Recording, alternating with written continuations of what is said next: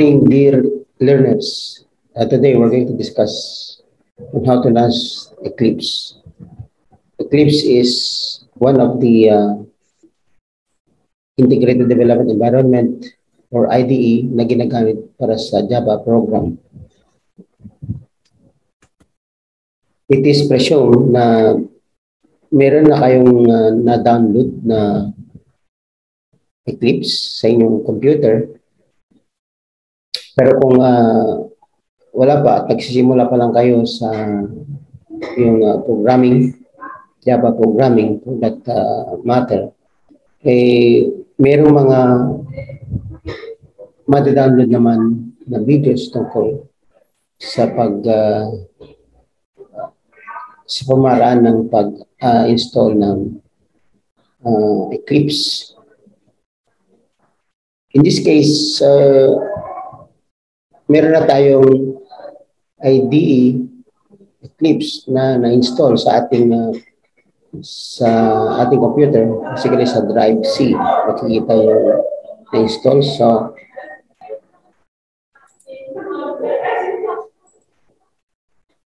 nandito na yung kanyang icons na Eclipse. So, ila-launch lang natin yan. Right uh, click and then launch.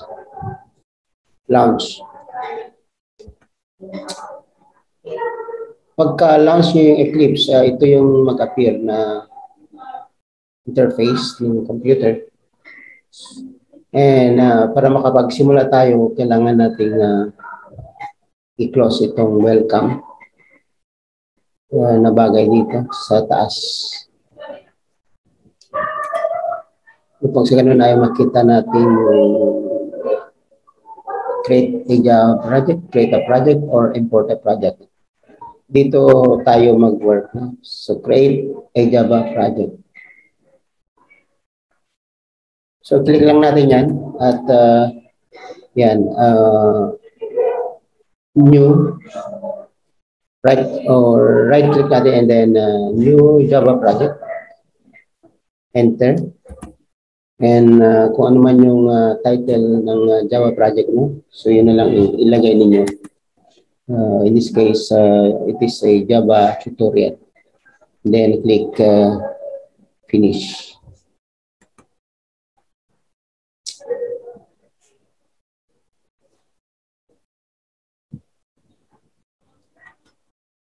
Makikita natin na meron na tayong nagawa na uh, Java project which is uh, actually the Java tutorial na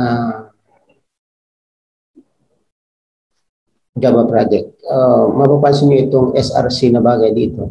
So ito yung uh, right click natin ito para makagawa tayo ng mga package.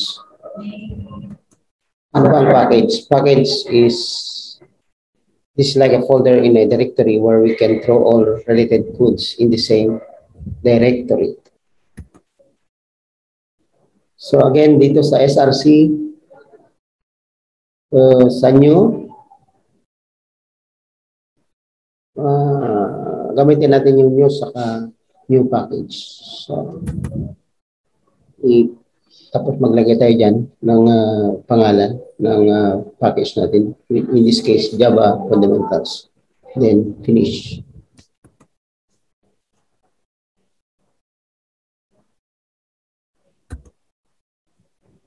So makita natin na mayroon na tayong uh, nagawa na uh, package, a new Java package. And sumunod dito, kailangan natin gumawa ng uh, new ng class dito sa ating package uh, kung saan tayo magtatrabaho.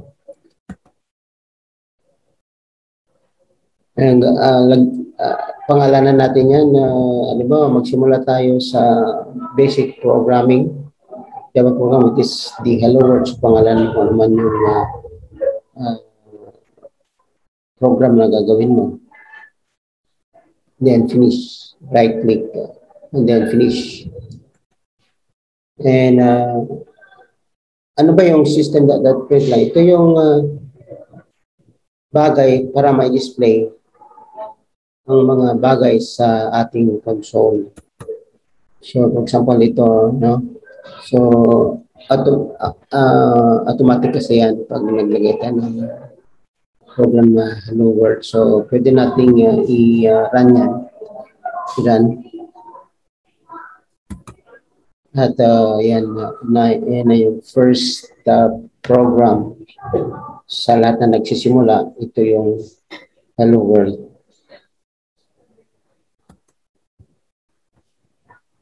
Okay, so ito yung uh, pag-launch ng Eclipse at kung paano magsimula sa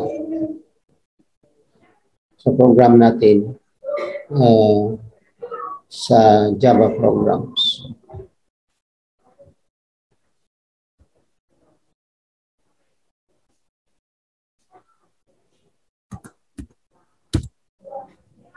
Okay, so thank you uh, very much and for the next videos uh, antabayanan antabayanan lang po no susunod kong gagawin mga videos purposely sa ating uh, lessons na object oriented programming. Thank you very much.